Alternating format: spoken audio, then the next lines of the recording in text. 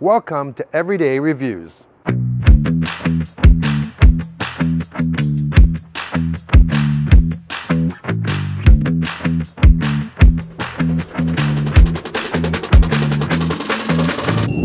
Today we're having a look at the brand new Kukirin G3 Pro electric scooter. And first of all, I gotta tell you, this is an unsponsored review. I paid for this all by myself, but if you are interested in purchasing this after watching this video, I will leave a link in the video description as well as a $20 discount code. Yeah, it's not a lot, but hey, it's 20 bucks. I didn't even get 20 bucks off when I bought this. So anyways, uh, let's get to it. Now, this is a beast. It that probably doesn't do it justice on video how big this thing is. It is 90 pounds. It's a little bit heavier than I was expecting. Uh, however, um, there's a lot to it. So right from the unboxing, make sure, try to get someone to help you if you can. The box is heavy, so the scooter's 90 pounds, the packaging and everything else is gonna bring it probably up to like 120 pounds or so. What I recommend you do, flip it over, open the bottom, flip it back, and then take that uh, box right off the top. It's gonna hold itself. Super easy assembly. Everything's all done other than the handlebars. You can put the handlebars and the display. This display is tiltable. It's a nice big display. Uh, this is exactly what you see other than the mirror. I bought this from Amazon. So after unpacking, there was a little bit of a scrape at the bottom of the neck area here. It is cosmetic, it didn't make a difference. A couple other things that I did notice on here, because I've actually got about 65 kilometers on this scooter. This, this isn't brand new. I wanted to get some time on here before I did a review, um, is the the port for charging on the side, that little rubber flap is on this particular one, it's really hard to get in. It just doesn't seem like it fits very well. Uh, says they are gonna send me another one, so that's a good thing. And also the hand grips, they've started to spin. So probably, you know, not the best adhesive that they've used. And so both, both grips are spinning right now and that's not a hard fix, but um, with 65K, it would have been nice if they were still nice and solid. Now, if you want to fold this up, of course, you can. This has the greatest locking system. Just spin this, there's a safety pin, pull, and down it comes. There is a locking hook here, and that's gonna hook right into the kick plate, just like that. Now, the only problem that I see here though, I wish it had a more positive latching system. It is latched right now. So if I lift it up, oh, okay, it is heavy. But if I put it down and I forget to maybe push it back in and it moves, this is gonna slip. And that can cause injury if it falls on you or someone else or your back your muscles if you're trying to save it.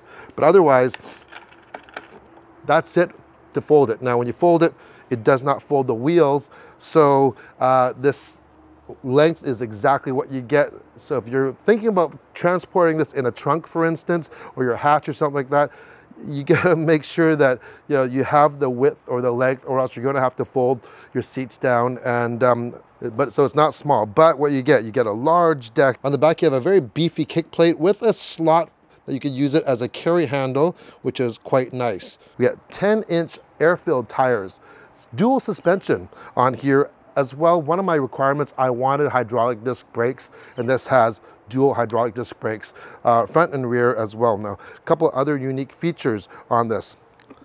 There is a rubber cover. We're gonna turn this combination lock, flip this up, and you'll see there is the battery here. A nice thing, there's a hook. We're gonna flip that up, and we can take this battery right out just like that. So it's a removable 23 amp hour lithium battery. And the advantage of this is that if you are charging this, for instance, um, in your apartment, you can bring this up to your apartment and charge it at there. You can bring this into your office and charge it and park this somewhere else.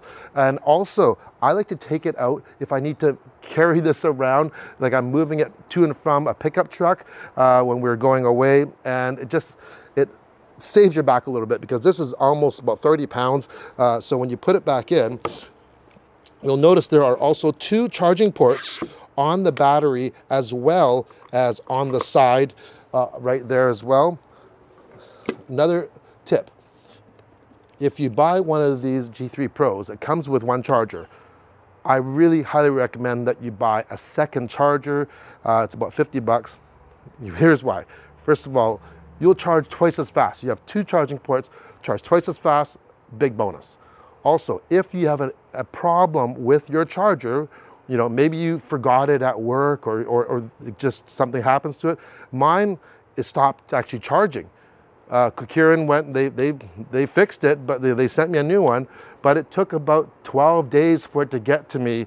And if this is your, you know, form of transportation, you're going to be out of commission for a while if you don't have a charger. So having that extra one is really, really going to help. Up top, we have our disc brakes. We have a, a, complete lighting system. We have a headlight which is down low. Some people say it's a little too low. You, uh, you can get aftermarket ones. I don't really ride at night, so it's not an issue with me, but I do like, you do have signal lights which are on the deck on each side. You have lights in the front as well, and you have uh, brake lights as well. You can turn uh, them on and off. Brake lights are always on. Uh, you have an ignition key. So that's another form of security. Not only can you take the key with you, you can take the battery with you. So, you know, there's, there's nothing there for someone to steal, which is great as well. I like the color, the black and orange. The deck is rubber based. Uh, this has an IP54 rating, so it's not made to be waterproof, but you can, it can handle splashes of water from any sides. I don't ride in the rain either, but it can handle a little bit of splashing. And I love the kickstand. You know, when I said this thing is a brute, it's a, it's a beast. Everything is beefy on it, including the kickstand. It's not this tiny little thing. Um, it's built really, really well. Let's gear up and go for a ride. Okay, first thing we want to do, we turn that key, we hold the gear button for three seconds, the display, is on. We are right now in just like the first gear, there are three. We're limited to 25 kilometers an hour on first, but if we go second and third, we go up to 45 and then 65 kilometers an hour for the top speed. You can see we are in single mode, so it's only the rear wheel right now. So it will take a little bit longer, but we can get up to speed. We are going up a a little bit of an incline right now. If we hit that red button, we go into dual and we get a considerably more power because we have the front wheels going at the same time. Now, when you get your G3 Pro out of the box and you get the handlebars all set up, I will would recommend that you go over every bolt. They, it does come with a little bit of a toolkit and just make sure everything's tight. I had a few screws that were a little bit on the looser side on the rear motor and I noticed that there was a clicking sound so I tightened those up and it seemed to have cured that. Other than that, um, yeah. And plus, for something that's going this fast, you kind of want to make sure that everything is all tight, right? Now, one nice thing, this display, I can actually see it quite well. And it, there is sun right now, and I can tilt it.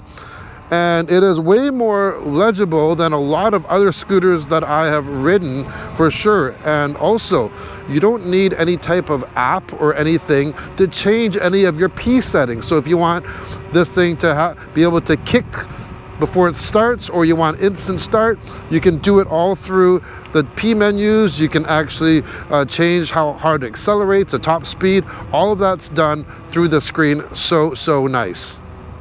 Passing some people here. The horn works very well.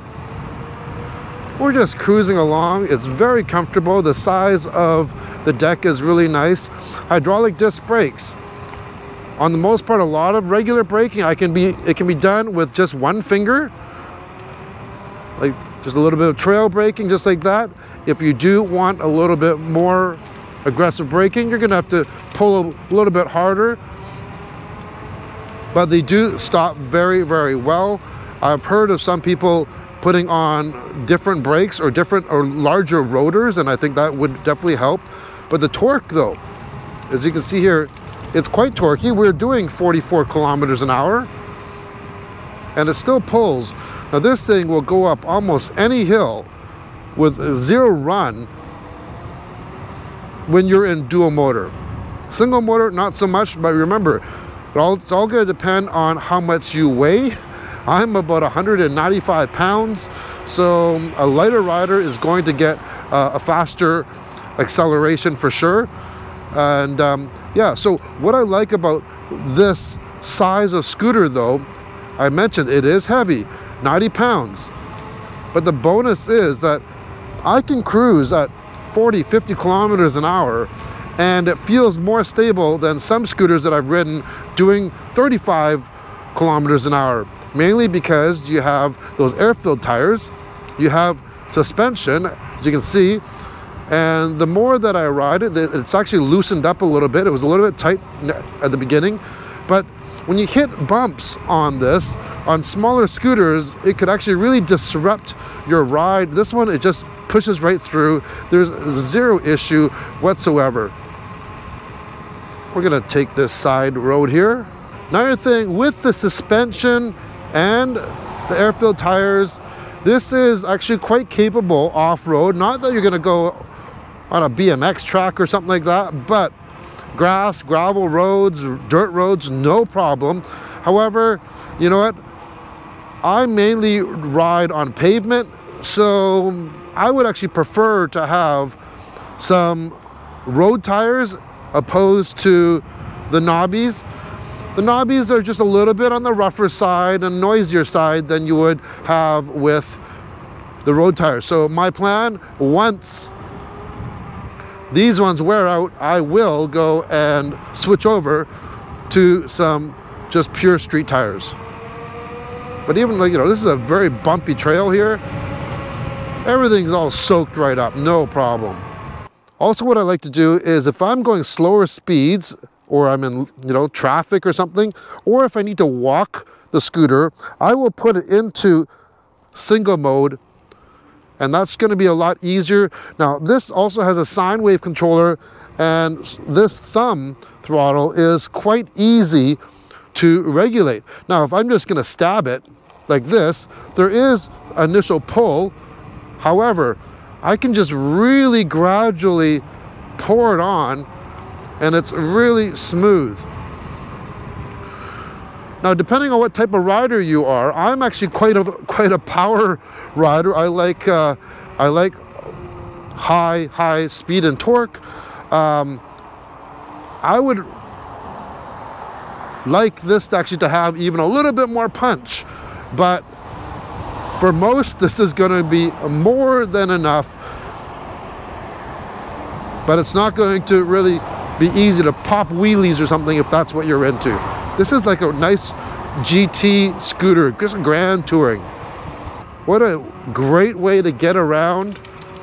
Not only is it fast and efficient, it's fun. It's, it's like you're surfing on the street. We are going uphill right now. I just want to see if you can see the speedometer. We are climbing still. We are 49, 50 kilometers an hour going up a hill quick enough that I have to let off. And here we go. We are at, this is where I'm going to demonstrate to you. We are at the bottom of a hill right now. Okay, we have stopped. We are in dual, and I'm just going to go. You can hear a little bit of a spin from the tires, and no issue whatsoever going uphill just carving it up. So, so fun. Now, I'm not sure if you saw though, one thing that I wish that they had better are those plastic flaps. We mentioned the charge flap, but even the flap that covers the deck lock seems to always come up. It doesn't have a perfect fit on it. Now, all of these things are quite small little things. They are definitely not deal breakers.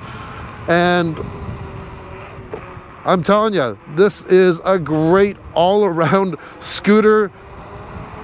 It's heavy, but there's big advantages to that. There's so many great features, and I love how even at nighttime, everyone says, "Oh, those lights are so bright. You can, you're really, uh, it's easy to see the rider." Now to get the front end up, it's nice to have that suspension to just to pump it up and then pop.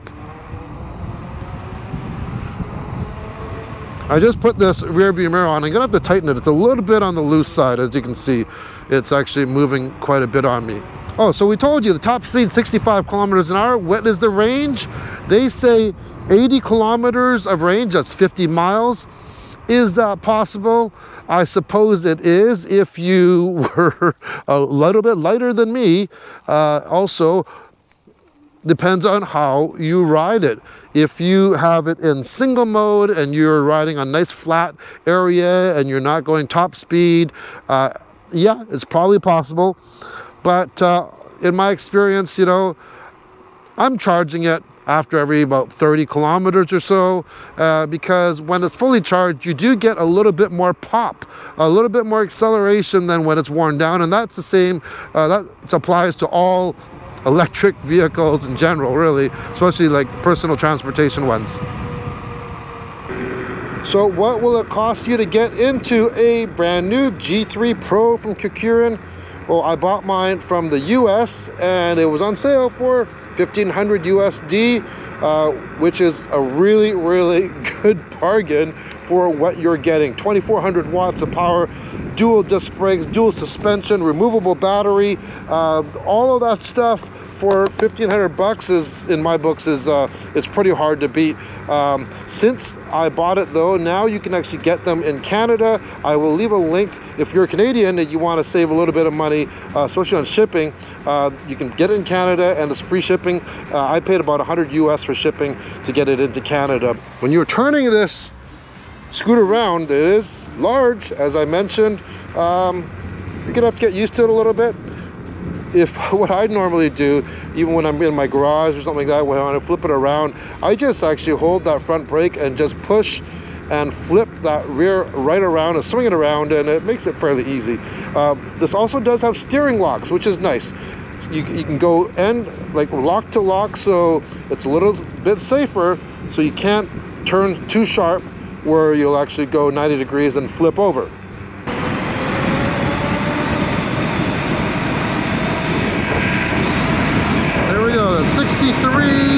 kilometers an hour right now. Hard on the brakes, no problem. And going uphill again.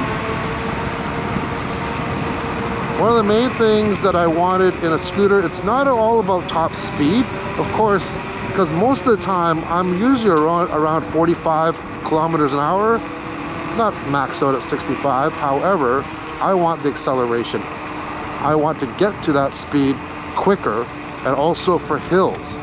That's where it makes the most difference. And of course the comfort. You can see my arms aren't moving a lot right now. I'm only like quarter throttle. We're doing 35 kilometers an hour up a hill. If I want to push the throttle down a little bit more, we're gonna start climbing and gaining speed. We're 44, 47, 50 kilometers an hour going up a hill effortless. Love it.